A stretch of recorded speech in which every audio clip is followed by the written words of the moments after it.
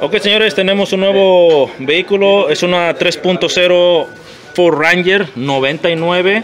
Igual estamos agarrando las señales de referencia, tanto la del cam como la del crank. En este caso, la, la línea amarilla le va a corresponder al cam sensor. Vamos a dar una, una pequeña toma de dónde está el cam. Ok, viene estando acá atrás. Ahí se alcanza a apreciar bien. localizado en lo que era anteriormente la parte del distribuidor. Exactamente, aquí es donde se ponía el distribuidor.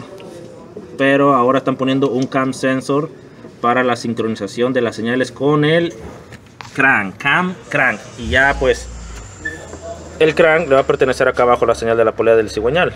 Así que así que nosotros ya tomamos la señal de referencia así como lo hicimos en la Explorer anterior y vamos a ver ahorita los resultados de las cuentas de esos este, puntos de sincronización.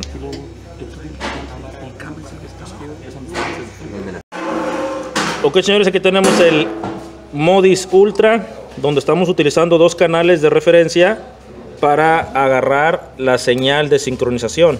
Entonces vamos a hacer el conteo de nueva cuenta aquí.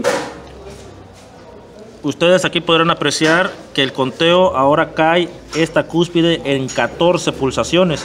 Empezando desde la más alta, esta no va a contar.